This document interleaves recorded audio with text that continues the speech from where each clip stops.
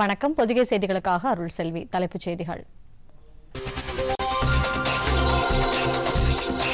ஊரடங்கு காலத்தில் மத்திய அரசு அறிவித்துள்ள கட்டுப்பாடுகளை மாநில அரசுகள் கட்டாயம் பின்பற்ற வேண்டும் உள்துறை அமைச்சகம் அறிவுறுத்தல்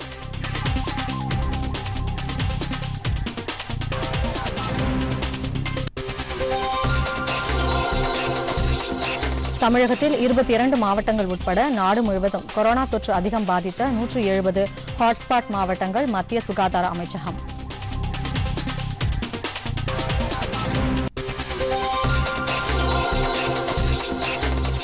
கொரோனா தொற்றை முற்றிலுமாக ஒழிக்க உலக நாடுகள் ஒன்றிணைந்து செயல்பட வேண்டும் மத்திய அமைச்சர் ஹர்ஷ்வர்தன்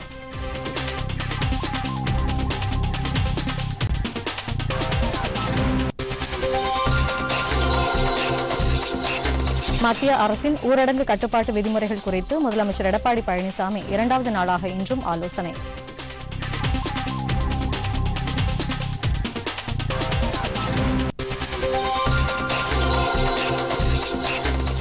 உலக அளவில் கொரோனா தொற்றால் உயிரிழப்பு ஒரு லட்சத்து முப்பத்தி நான்காயிரத்தை தாண்டியது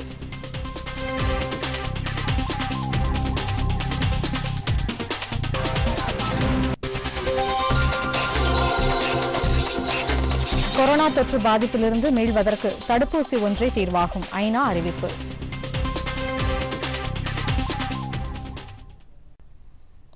விரிவான செய்திகள் ஊரடங்கு காலத்தில் மத்திய அரசு அறிவித்துள்ள ஒருங்கிணைந்த வழிமுறைகள் கட்டாயமாக பின்பற்றுவதை அனைத்து மாநில அரசுகளும் யூனியன் பிரதேசங்களும் உறுதிப்படுத்த வேண்டும் என்று மத்திய உள்துறை அமைச்சகம் கேட்டுக் கொண்டுள்ளது இது தொடர்பாக அனைத்து மாநிலங்கள் மற்றும் யூனியன் பிரதேசங்களின் தலைமைச் செயலாளர்களுக்கு உள்துறை அமைச்சகம் எழுதியுள்ள கடிதத்தில் நாட்டில் கோவிட் தொற்றை கட்டுப்படுத்த எடுக்கப்பட்டு வரும் நடவடிக்கைகளை அவசியம் பின்பற்ற வேண்டும் என்று அறிவுறுத்தப்பட்டுள்ளது உள்துறை அமைச்சகம் தெரிவித்துள்ள கட்டுப்பாடுகளை நீர்த்து போகும் நடவடிக்கைகளில் மாநில அரசுகள் ஈடுபட முடியாது என்று அதில் தெரிவிக்கப்பட்டுள்ளது என்றாலும் உள்ளூர் தேவைகளை பொறுத்து இந்த விதிமுறைகள் கட்டுப்பாடுகள் நடைமுறைப்படுத்தப்படுவதை சம்பந்தப்பட்ட மாநில அரசுகள் உறுதி செய்து கொள்ள வேண்டியது கட்டாயம் என்று உள்துறை அமைச்சகம் குறிப்பிட்டுள்ளது பொதுமக்களின் நலனுக்காக இந்த விதிமுறைகள் அனைத்தும் கோவிட் பத்தொன்பது தடுப்பு களப்பணியில் ஈடுபட்டுள்ள அதிகாரிகளுக்கு அரசின் மூலம் தெரிவிக்கப்படுவதை உறுதிப்படுத்த வேண்டும் என்றும் கேட்டுக் கொள்ளப்பட்டுள்ளது நாடு முழுவதும் கோவிட் தொற்று பாதிப்பின் அடிப்படையில் பல்வேறு மாவட்டங்களும் மூன்று பிரிவுகளாக பிரிக்கப்பட்டுள்ளன அந்த வகையில் பாதிப்பு அதிகம் உள்ள நூற்றி எழுபது ஹாட்ஸ்பாட் மாவட்டங்கள் மற்றும் ஓரளவு பாதிப்பு உள்ள இருநூற்றி ஏழு நான் ஹாட்ஸ்பாட் மாவட்டங்கள் மத்திய அரசால் அடையாளம் காணப்பட்டுள்ளன ஹாட்ஸ்பாட் மாவட்டங்கள் சிவப்பு மண்டலமாக அறிவிக்கப்பட்டு நூற்று இருபத்தி மூன்று மாவட்டங்களில் மிக அதிக எண்ணிக்கையிலான உயிரிழப்பும் அதற்கு அடுத்தபடியாக நாற்பத்தி ஏழு மாவட்டங்களும் என பிரிக்கப்படுகின்றன நான் ஹாட்ஸ்பாட் மாவட்டங்கள் ஆரஞ்சு வண்ணத்தில் அடையாளப்படுத்தப்படுகின்றன தொற்று பாதிப்பு இல்லாத மாவட்டங்கள் பசுமை மண்டலமாக அடையாளம் காணப்படுகின்றனர் சிவப்பு மண்டல பகுதிகளில் அடங்கிய மாவட்டங்களில் பதினான்கு நாட்களில் புதிதாக தொற்று உறுதிப்படுத்தப்படாத நிலையில் அந்த பகுதி ஆரஞ்சு மண்டலத்திற்கு மாற்றப்படும் இதேபோல் நான் ஹாட்ஸ்பாட் மாவட்டங்களில் பதினான்கு நாட்களில் புதிதாக தொற்று பாதிப்பு உறுதிப்படுத்தப்படவில்லை எனில் அந்த பகுதி பசுமை மண்டலத்திற்கு மாற்றப்படும் என்று சுகாதார அமைச்சகம் தெரிவித்துள்ளது தமிழகத்தை பொறுத்தவரை சென்னை திருச்சி கோவை ஈரோடு திருநெல்வேலி உள்ளிட்ட இருபத்தி இரண்டு மாவட்டங்கள் ஹாட்ஸ்பாட் மாவட்டங்களாக மத்திய அரசால் அடையாளம் காணப்பட்டுள்ளன இந்த பகுதிகள் தொடர்பாக விரிவான அறிவுறுத்தல்களை மத்திய சுகாதார அமைச்சகம் மாநிலங்களுக்கு வழங்கியுள்ளது அனைத்து மாவட்டங்களிலும் கொரோனா தொற்றுக்கு சிகிச்சை அளிக்கக்கூடிய பிரத்யேக மருத்துவமனைகள் சுகாதார மையங்கள் கோவிட் கண்காணிப்பு மையங்களை ஏற்படுத்துமாறு மாநில அரசுகளுக்கு அறிவுறுத்தப்பட்டுள்ளது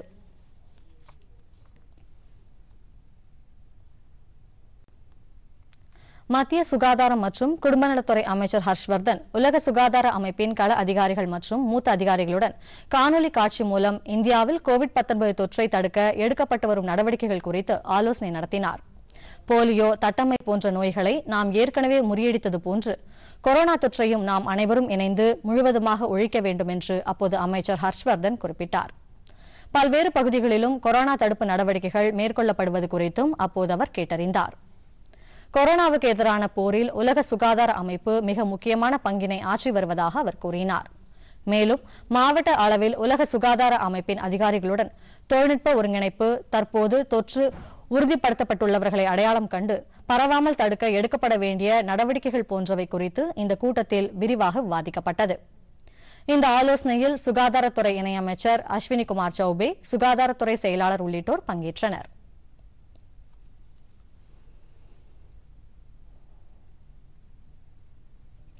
கோவிட் பத்தொன்பது தொற்றுக்கு எதிரான நடவடிக்கையில் இந்தியாவுடன் இணைந்து உலக சுகாதார அமைப்பு எடுத்து வரும் நடவடிக்கைகளுக்கு அந்த அமைப்பின் தலைவர் டெட்ரோஸ் அதானம் பாராட்டு தெரிவித்துள்ளார் இதுபோன்ற கூட்டு முயற்சி தொற்றை வீழ்த்துவதற்கு உதவியாக அமையும் என்று அவர் கூறியுள்ளார் இந்தியாவின் சுகாதாரம் மற்றும் குடும்பநல அமைச்சகம் எடுத்து வரும் தொற்று ஒழிப்பு உக்திகள் காரணமாக போலியோ போன்று கொரோனாவையும் ஒழிக்க உதவும் என்று அவர் கூறியுள்ளார்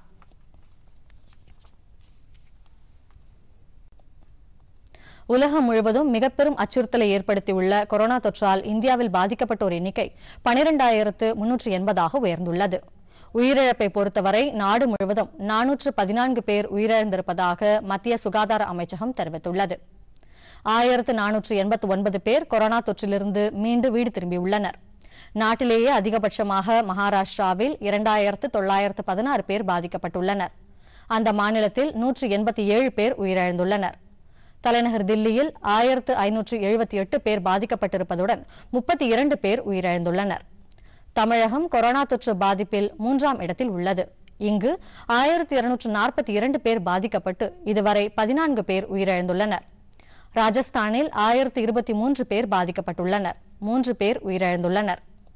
மத்திய பிரதேசத்தில் தொள்ளாயிரத்து எண்பத்தி ஏழு பேர் பாதிக்கப்பட்டுள்ளனர் ஐம்பத்தி மூன்று பேர் உயிரிழந்துள்ளனர்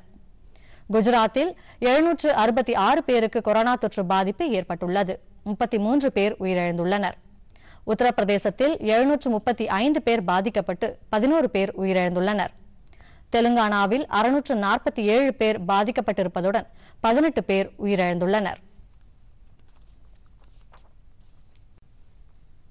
வளரும் நாடுகளான ஜி இருபது நாடுகளின் நிதியமைச்சர்களுடன் மத்திய நிதியமைச்சர் நிர்மலா சீதாராமன் காணொலி காட்சி மூலம் நேற்று ஆலோசனை நடத்தினாா்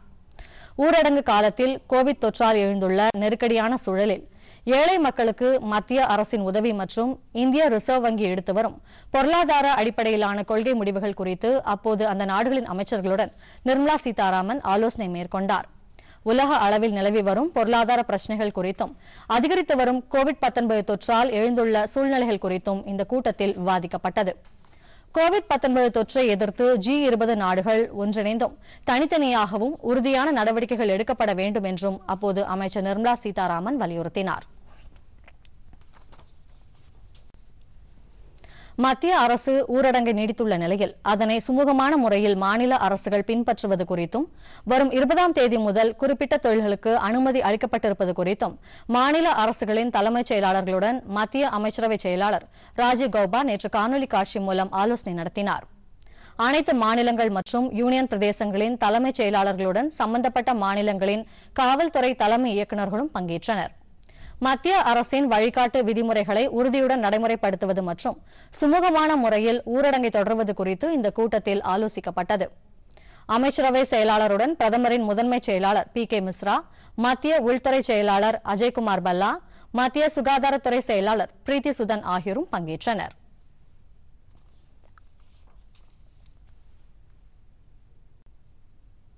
மக்களின் வாழ்வியல் உரிமை சுதந்திரம் கௌரவத்தை பாதிக்காத வகையில் ஊரடங்கு விதிமுறைகளை நடைமுறைப்படுத்துமாறு மாநில அரசுகளுக்கு உரிய அறிவுறுத்தல்களை வழங்க வேண்டுமென மத்திய அரசை தேசிய மனித உரிமைகள் ஆணையம் கேட்டுக் கொண்டுள்ளது அனைத்து மாநிலங்கள் மற்றும் யூனியன் பிரதேசங்களில் ஒரே மாதிரியான செயல்பாட்டு நடைமுறைகளை பின்பற்றுவதற்கு மத்திய அரசு உத்தரவிட வேண்டும் என்று அந்த ஆணையம் கேட்டுக் கொண்டுள்ளது ஊரடங்கு கட்டுப்பாடுகளை நடைமுறைப்படுத்தும் காவல்துறை அதிகாரிகள் உள்ளிட்ட அரசு ஊழியர்கள் பொதுமக்களிடம் உரிய மரியாதையுடன் நடந்து கொள்வதுடன் மனித உரிமைகளை மீறாமல் நடப்பதை உறுதிப்படுத்துமாறு மாநில அரசுகளுக்கு அறிவுறுத்த வேண்டும் என்று அந்த ஆணையத்தின் செய்திக்குறிப்பு தெரிவிக்கிறது இது தொடர்பாக மத்திய அரசு விரைந்து உத்தரவுகளை பிறப்பிக்க வேண்டும் என்றும் கேட்டுக் கொள்ளப்பட்டுள்ளது அகமதாபாத்தில் கொரோனா தொற்றுக்கு சிகிச்சை அளிக்கும் மருத்துவமனை ஒன்றில் நோயாளிகள் மத அடிப்படையில் பிரித்து வைக்கப்பட்டிருப்பதாக அமெரிக்க ஆணையம் தெரிவித்திருப்பதற்கு இந்தியா கண்டனம் தெரிவித்துள்ளது இது தொடர்பாக வெளியுறவு அமைச்சக செய்தி தொடர்பாளர் அனுராக் ஸ்ரீவத்சவா புதுதில்லியில் கூறுகையில் சர்வதேச மத சுதந்திரத்திற்கான அமெரிக்க ஆணையம் தெரிவித்துள்ள தகவலில் உண்மை இல்லை என்று கூறியுள்ளார் கொரோனா தொற்றுக்கு எதிராக இந்தியா தீவிரமாக நடவடிக்கை எடுத்து வரும் நிலையில் ஊடகங்களில் வெளியாகும் சில தகவல்களை அடிப்படையாக கொண்டு அமெரிக்க ஆணையம் தவறானதொரு தகவலை வெளியிட்டிருப்பதாக அவர் கூறியுள்ளார் தவறான வழியில் இதுபோன்ற தகவல்களை அமெரிக்க ஆணையம் பரப்பி வருவதாகவும் அவர் கூறினார் குஜராத் மாநில அரசு இது தொடர்பாக ஏற்கனவே தெளிவுபடுத்தியிருப்பதை சுட்டிக்காட்டியுள்ள அனுராக் ஸ்ரீவத்சவா ஒரு நோயாளியும் அதுபோன்று பிரித்து வைக்கப்படவில்லை என்றார் இதுபோன்ற தகவல்களை வெளியிடுவதை அமெரிக்க ஆணையம் நிறுத்திக் கொள்ள வேண்டும் என்றும் அவர் குறிப்பிட்டுள்ளாா் நாடு முழுவதும் அத்தியாவசிய பொருட்களை அதிக அளவில் கொண்டு செல்ல மின்னணு வர்த்தக முறையிலும் மாநில அரசுகள் உள்ளிட்ட இதர வாடிக்கையாளர்கள் அடிப்படையிலும் சரக்கு வாகனங்களை தயார் நிலையில் வைத்திருப்பதாக ரயில்வே துறை அறிவித்துள்ளது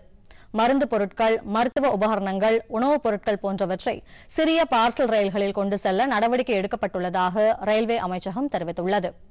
ஊரடங்கு நடைமுறையில் உள்ள நிலையில் இத்தகைய பொருட்களை கொண்டு செல்வது முக்கியமான பணி என்றும் சிறப்பு ரயில்கள் மூலமாகவும் குறிப்பிட்ட மார்க்கங்களில் தடையின்றி அத்தியாவசிய பொருட்கள் செல்வதை ரயில்வே துறை உறுதி செய்திருப்பதாகவும் அந்த அமைச்சகம் கூறியுள்ளது பார்சல் சிறப்பு ரயில்கள் தொடர்பாக சம்பந்தப்பட்ட ரயில்வே மண்டலம் சார்பில் தொடர் தகவல்கள் அளிக்கப்பட்டு வருவதாக தெரிவித்துள்ள ரயில்வே தற்போது வரை அறுபத்தி ஐந்து வழித்தடங்களில் இதுபோன்ற ரயில்கள் இயக்கப்படுவதாக கூறியுள்ளது சென்னை தில்லி மும்பை கொல்கத்தா பெங்களூர் உட்பட அனைத்து முக்கிய நகரங்களுக்கு இடையேயும் அத்தியாவசிய பொருட்கள் கொண்டு செல்வதற்கு இந்த ரயில்கள் இயக்கப்படுவதாக கூறப்பட்டுள்ளது நாடு முழுவதும் கோவிட் தொற்றால் எழுந்துள்ள சுகாதார அடிப்படையிலான சவால்களை கையாள்வதற்கும் சமூக பொருளாதார அழுத்தம் மற்றும் வாழ்வாதார சவால்களை எதிர்கொள்வதற்கு ஏதுவாக ஒருங்கிணைந்த இந்திய வரைபட அமைப்பு மற்றும் சிறப்பு செயலியை மத்திய அறிவியல் மற்றும் தொழில்நுட்ப அமைச்சகம் உருவாக்கியுள்ளது ஏற்கனவே பூகோள அடிப்படையிலான தகவல் தொகுப்பு நிரந்தர சேவைகளை வழங்கும் தொழில்நுட்ப கருவிகள் உள்ள நிலையில் கோவிட் எதிர்கொள்ள ஒருங்கிணைந்த அமைப்பை மத்திய அமைச்சகம் ஏற்படுத்தியுள்ளது இதன் மூலம் கோவிட் பத்தொன்பது தொடர்பான தகவல்கள் மத்திய மாநில அரசுகளுக்கு இடையே சுகாதாரம் தொடர்பான நடைமுறைகள் பரிமாறுவது மேலும் வலுப்படுத்தப்படும் இந்திய அரசின் சார்பில் சாக்யோக் என்ற பெயரில் செல்போன் செயலி ஏற்படுத்தப்பட்டிருப்பதுடன் வரைபடங்களை தெளிவாக தெரிவிக்கக்கூடிய இணையதளமும் உருவாக்கப்பட்டுள்ளதாக மத்திய அறிவியல் மற்றும் தொழில்நுட்பத்துறை தெரிவித்துள்ளது கொரோனா தொற்று தடுக்க ஊரடங்கு நீட்டிக்கப்பட்டுள்ள நிலையில் மத்திய அரசின் வழிகாட்டு நெறிமுறைகளை தமிழகத்தில் நடைமுறைப்படுத்துவது தொடர்பாக மாவட்ட ஆட்சித்தலைவர்களுடன் முதலமைச்சர் எடப்பாடி பழனிசாமி இன்று ஆலோசனை நடத்தினார் காணொலி காட்சி மூலம் சென்னை தலைமைச் செயலகத்தில் நடைபெற்ற இந்த ஆலோசனையில் துணை முதலமைச்சர் ஓ பன்னீர்செல்வம் அமைச்சர்கள் மற்றும் தலைமைச் செயலாளர் சண்முகம் உள்ளிட்ட உயரதிகாரிகள் பங்கேற்றனர் ஏற்கனவே நேற்றும் இதுபோன்ற ஆலோசனையை முதலமைச்சர் மேற்கொண்டார் வரும் இருபதாம் தேதி முதல் வேளாண் பணிகளை செயல்படுத்துவது கட்டுமான தொழில் நிறுவனங்கள் உள்ளிட்ட குறிப்பிட்ட தொழில்களுக்கு அனுமதி வழங்கி அதற்கான விதிமுறைகளை மத்திய உள்துறை அமைச்சகம் நேற்று வெளியிட்டது இந்த விதிமுறைகளை தமிழகத்தில் பின்பற்றுவது தொடர்பாக இன்றைய ஆலோசனைக் கூட்டத்தில் விவாதிக்கப்பட்டதாக தகவல்கள் தெரிவிக்கின்றன புதுச்சேரியில் வரும் இருபதாம் தேதிக்கு பிறகு தொன்னூறு சதவீத தொழிற்சாலைகள் இயங்க நடவடிக்கை மேற்கொள்ளப்பட்டு வருவதாக முதலமைச்சர் நாராயணசாமி தெரிவித்துள்ளார் இதுகுறித்து அவர் வெளியிட்டுள்ள காணொலி காட்சியில் நோய் தொற்று உறுதி செய்யப்பட்ட ஆறு பேர் இந்திரா காந்தி அரசு மருத்துவக் கல்லூரி மருத்துவமனையில் சிகிச்சை பெற்று வருவதாகவும் தற்போது அவர்கள் நலமுடன் இருப்பதாகவும் கூறினார் தொண்ணூறு சதவீத தொழிற்சாலைகள் இயக்குவது குறித்து தொழில்துறை அமைச்சர் தலைமைச் செயலாளர் ஆகியோர் இணைந்து முடிவெடுப்பார்கள் என்று கூறினார் தச்சர் உள்ளிட்ட தொழில் செய்பவர்கள் சிலர் தங்களது தொழில்களை இருபதாம் தேதிக்கு பிறகு மேற்கொள்ளலாம் என்று மத்திய அரசு அறிவித்துள்ள நிலையில் அவர்களுக்கு தேவையான பொருட்களை விற்பனை செய்யும் கடைகளை திறப்பது குறித்து விரைவில் முடிவெடுக்கப்படும் என்று தெரிவித்தார் நோய் தொற்று பரவாமல் இருக்க பொதுமக்கள் வீட்டை விட்டு வெளியே வரக்கூடாது என்றும் சமூக இடைவெளியை கடைபிடிக்க வேண்டும் என்றும் புதுச்சேரி முதலமைச்சர் நாராயணசாமி கேட்டுக் கொண்டாா்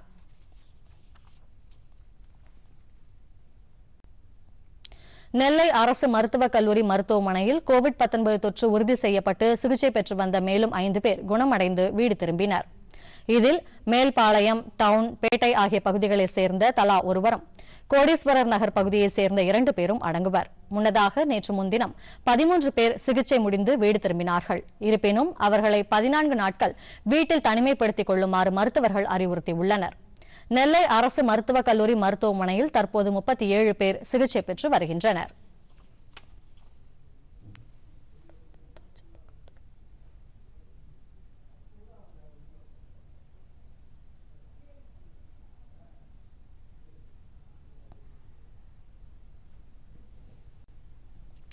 கொரோனா குறித்து அவதூறு பரப்பியதாக ஈரோடு மாவட்டம் கோபிச்செட்டிப்பாளையம் அருகே இரண்டு பேரை காவல்துறையினர் கைது செய்துள்ளனர் தாச்சப்ப கவுண்டன்புதூர் பகுதியைச் சேர்ந்த கட்டிட தொழிலாளி ஒருவருக்கு கொரோனா தொற்று இருப்பதாக பொதுமக்களிடம் வதந்தி பரப்பியதுடன் ஈரோடு மாவட்ட காவல் கட்டுப்பாட்டு அறைக்கும் கைபேசி மூலம் தகவல் அளித்துள்ளனர் இதை அறிந்த கிராம நிர்வாக அலுவலர் தாச்சப்ப புதூர் சென்று நோய் பாதிக்கப்பட்டவர் வருகிறாரா என்பது குறித்து அறிய விடிய விடிய காத்திருந்தார் இந்நிலையில் பாதிக்கப்பட்டதாக கூறப்பட்ட நபர் யாரும் வராததால் வீண் வதந்தி பரப்பியதாக அவர்கள் மீது கிராம நிர்வாக அலுவலர் பங்களாபுதூர் காவல்துறையினரிடம் புகார் அளித்தாா் விசாரணையில் தொழில் போட்டி காரணமாக நோய் தொற்றால் பாதிக்கப்பட்டவர் ஊருக்குள் நுழைவதாக வதந்தி பரப்பியது தெரிய வந்தது இதையடுத்து கைது செய்யப்பட்ட இருவரும் நீதிமன்றத்தில் ஆஜர்படுத்தி சிறையில் அடைக்கப்பட்டனர் சேலத்தில் கோவிட் தொற்றுக்கு காரணமாக இருந்ததாக பதினோரு இந்தோனேஷியர்கள் உள்ளிட்ட பதினாறு பேரை காவல்துறையினர் கைது செய்துள்ளனர் இவர்களில் சேலம் அரசு மருத்துவமனையில் சிகிச்சை பெற்று வந்த ஐந்து பேர் குணமடைந்துள்ளனர் இந்தோனேஷியாவை சேர்ந்தவர்கள் பாஸ்போர்ட் விதிகளை மீறி இந்தியாவில் செயல்பட்டது மக்களுக்கு நோய் தொற்று பரவ காரணமாக இருந்தது உள்ளிட்ட குற்றச்சாட்டுகளின் அடிப்படையில் ஒன்பது பிரிவுகளில் வழக்கு பதிவு செய்யப்பட்டுள்ளது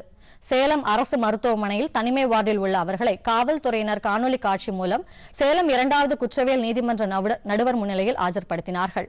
சிகிச்சை முடிந்த பிறகு அவர்கள் அனைவரையும் நீதிமன்ற காவலில் அடைக்க நடுவர் உத்தரவிட்டார் இதைத் தொடர்ந்து சிகிச்சை முடிந்த இவர்களை காவல்துறையினர் சென்னை புழல் சிறைக்கு அழைத்து சென்றனர்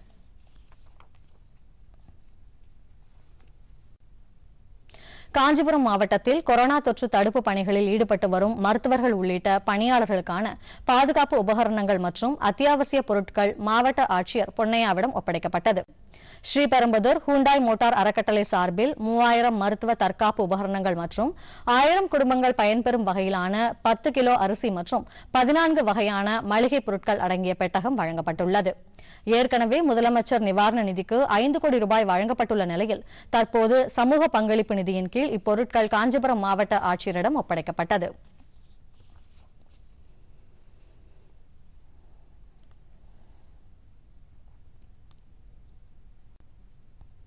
சர்வதேச அளவில் கோவிட் பத்தொன்பது தொற்றால் பாதிக்கப்பட்டவர்களின் எண்ணிக்கை இருபது லட்சத்து எண்பத்தி மூன்றாயிரத்தை தாண்டியுள்ளது இதில் ஐந்து லட்சத்து பத்தாயிரம் பேர் குணமடைந்துள்ளனர் எனினும் இந்த தொற்றால் உயிரிழந்தவர்களின் எண்ணிக்கை ஒரு லட்சத்து முப்பத்தி நான்காயிரத்தை தாண்டியுள்ளது அதிகபட்சமாக அமெரிக்காவில் இருபத்தி எட்டாயிரத்து ஐநூற்று இருபத்தி ஒன்பது பேர் உயிரிழந்துள்ளனர் அந்நாட்டில் ஆறு லட்சத்து நாற்பத்தி நான்காயிரம் பேர் பாதிக்கப்பட்டுள்ளனர் கடந்த இருபத்தி நான்கு மணி நேரத்தில் அமெரிக்காவில் இரண்டாயிரத்து அறுநூறு பேர் உயிரிழந்தனர்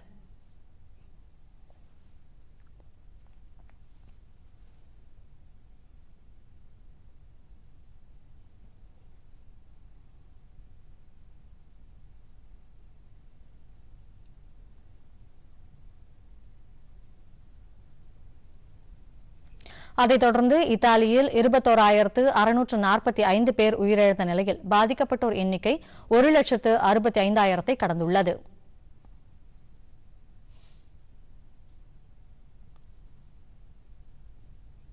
ஸ்பெயினில் ஒரு லட்சத்து எழுபத்தி நான்காயிரத்து அறுபது பேர் பாதிக்கப்பட்டுள்ளனர் அங்கு உயிரிழப்பு பதினெட்டாயிரத்து எண்ணூற்று பனிரெண்டாக உயர்ந்துள்ளது பிரான்ஸ் நாட்டில் பதினேழாயிரத்து நூற்று அறுபத்தி ஏழு பேர் உயிரிழந்துள்ளனர் ஒரு லட்சத்து நாற்பத்தி ஏழாயிரத்திற்கும் மேற்பட்டோர் கோவிட் தொற்றால் பாதிக்கப்பட்டுள்ளனர் இங்கிலாந்தில் தொன்னூற்றி எட்டாயிரத்திற்கும் மேற்பட்டோர் பாதிக்கப்பட்டுள்ள நிலையில் பனிரெண்டாயிரத்து எண்ணூறு பேர் உயிரிழந்ததாக தகவல்கள் தெரிவிக்கின்றனர்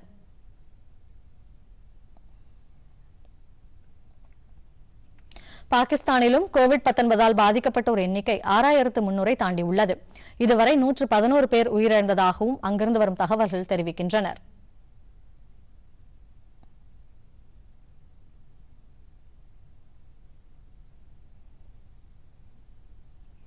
இதற்கிடையே ஜெர்மனியில் நோய் தொற்று குறைந்து வருவதை அடுத்து ஊரடங்கு விதிகளை படிப்படியாக தளர்த்தும் நடவடிக்கைகளில் அந்நாட்டு அரசு ஈடுபட்டு வருகிறது அடுத்த வாரம் சிறிய அளவிலான வர்த்தக நிறுவனங்களையும் அடுத்த மாதம் முதல் வாரத்தில் பள்ளிகளை திறக்கவும் ஜெர்மனி அரசு முடிவு செய்துள்ளது அந்நாட்டில் மூவாயிரத்து எண்ணூறு பேர் உயிரிழந்து ஒரு லட்சத்து முப்பத்தி நான்காயிரம் பேர் பாதிக்கப்பட்டுள்ளனா்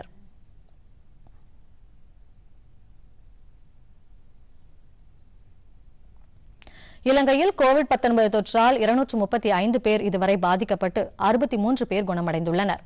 ஏழு பேர் உயிரிழந்துள்ளனர் மாலத்தீவு தலைநகர் மாலேயில் முதல் கோவிட் பத்தொன்பது நோயாளி கண்டறியப்பட்ட நிலையில் மக்கள் வீடுகளிலேயே இருக்குமாறு அதிபர் இப்ராஹிம் முகமது சாலி கேட்டுக் கொண்டுள்ளார்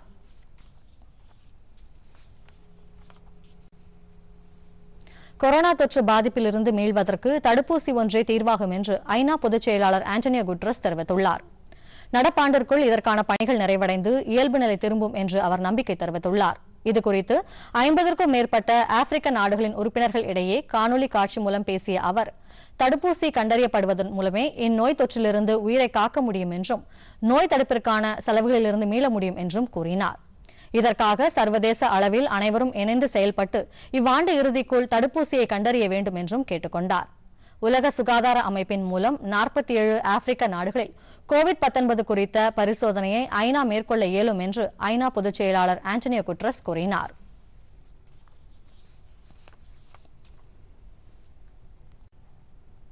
கோவிட் பத்தொன்பது தொற்றை தடுக்க இந்தியா எடுத்து வரும் ஆக்கப்பூர்வமான நடவடிக்கைகளுக்கு சர்வதேச நிதியம் பாராட்டு தெரிவித்துள்ளது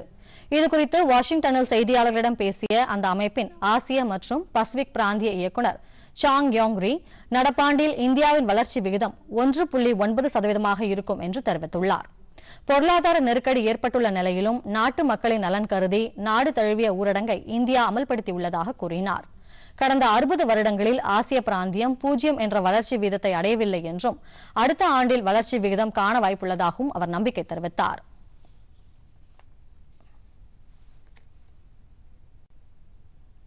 முன்னெப்போதும் சந்தித்திராத நெருக்கடியை கொரோனா தொற்றால் உலக நாடுகள் எதிர்கொண்டுள்ள சூழலில் அதனை எதிர்த்து போராடும் நாடுகளுக்கு ஆதரவு அளிக்க சர்வதேச நிதியம் தனது முழு கடன் வழங்கும் அளவிலான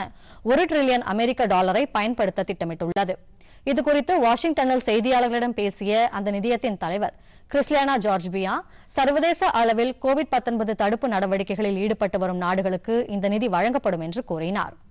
கொரோனா தொற்றால் மிக மோசமான பாதிப்புகளை நாம் சந்தித்து வருகிறோம் என்றும் உலக அளவில் உள்நாட்டு உற்பத்தி விகிதம் மூன்று சதவீத அளவை எட்டும் என்ற நிலையில் நூற்றி எழுபது நாடுகளில் சராசரி வருவாய் மிக குறைந்த அளவை எட்டும் என்றும் அவர் கூறினார் நோய் தடுப்பு நடவடிக்கைகளுக்காக நூற்றி இரண்டு நாடுகள் நிதி கோரியுள்ளதாகவும் அதில் பதினைந்து நாடுகளுக்கு ஏற்கனவே நிதி உடனடியாக வழங்கப்பட்டதாகவும் சர்வதேச நிதியத்தின் தலைவர் கூறியுள்ளார்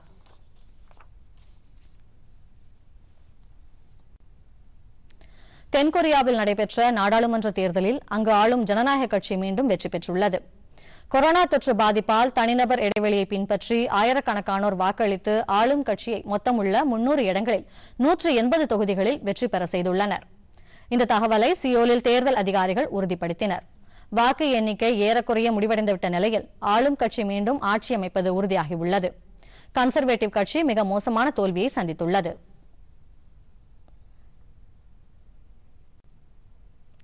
தமிழகம் மற்றும் புதுச்சேரியில் இன்று வறண்ட வானிலையே காணப்படும் என்று சென்னை வானிலை ஆய்வு மையம் தெரிவித்துள்ளது திருநெல்வேலி தூத்துக்குடி மாவட்டங்களில் சில இடங்களில் லேசான மழை பெய்யக்கூடும் என்றும் கூறியுள்ளது சென்னையை பொறுத்தவரை காலையில் வானம் மேகமூட்டத்துடன் காணப்படும் என்றும் அதிகபட்ச வெப்பநிலை முப்பத்தி ஐந்து டிகிரி செல்சியஸ் ஆகவும் குறைந்தபட்ச வெப்பநிலை இருபத்தி ஆறு டிகிரி செல்சியஸ் ஆகவும் இருக்கும் என்றும் வானிலை மையம் தெரிவித்துள்ளது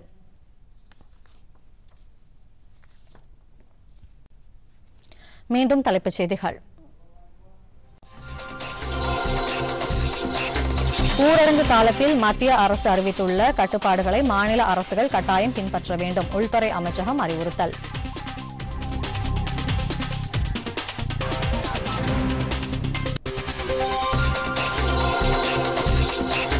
தமிழகத்தில் இருபத்தி இரண்டு மாவட்டங்கள் உட்பட நாடு முழுவதும் கொரோனா தொற்று அதிகம் பாதித்த நூற்றி எழுபது ஹாட்ஸ்பாட் மாவட்டங்கள் மத்திய சுகாதார அமைச்சகம்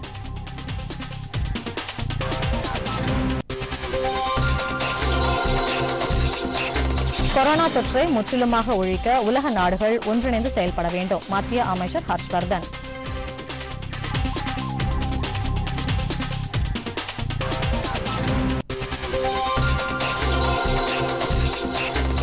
மத்திய அரசின் ஊரடங்கு கட்டுப்பாட்டு விதிமுறைகள் குறித்து முதலமைச்சர் எடப்பாடி பழனிசாமி இரண்டாவது நாளாக இன்றும் ஆலோசனை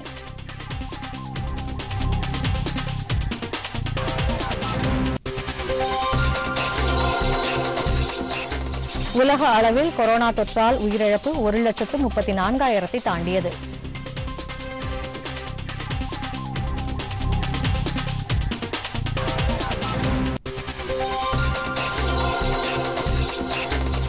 கொரோனா தொற்று பாதிப்பிலிருந்து மீள்வதற்கு தடுப்பூசி ஒன்றே தீர்வாகும் ஐநா அறிவிப்பு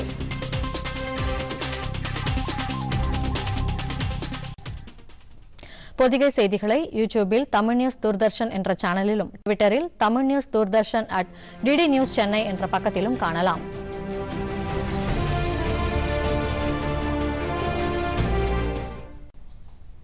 இத்துடன் செய்திகள் நிறைவடைகின்றன மீண்டும் செய்திகள் பிற்பகல் இரண்டு மணிக்கு வணக்கம்